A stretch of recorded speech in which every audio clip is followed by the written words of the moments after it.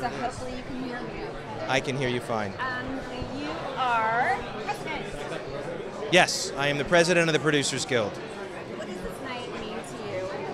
You know, it's very special for us, particularly this year, because uh, we have gotten three of the major studios to agree, uh, to agree to the producer's mark, which means that on screen, producers who are credited with the work of producer that have done the majority of the producing functions will have a, a, a small PGA after their name. This is the first year, this is the beginning of that. So this year in particular is very special to us. What makes a good producer?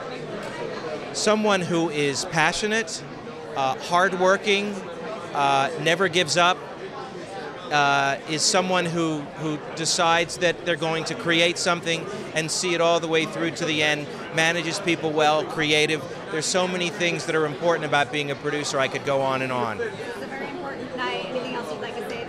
It's your. We're very excited for tonight and we're happy that we have such a terrific crowd. Thank you very much.